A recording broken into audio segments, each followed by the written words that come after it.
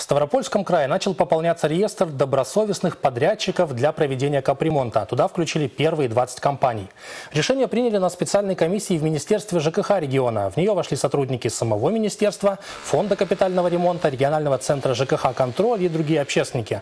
По новым правилам к проведению работ по капитальному ремонту будут привлекаться только организации, которые прошли так называемый фильтр, чтобы в региональных программах капремонта могли участвовать исключительно надежные организации. В комиссию поступило 40 заявок, из них одобрили только половину.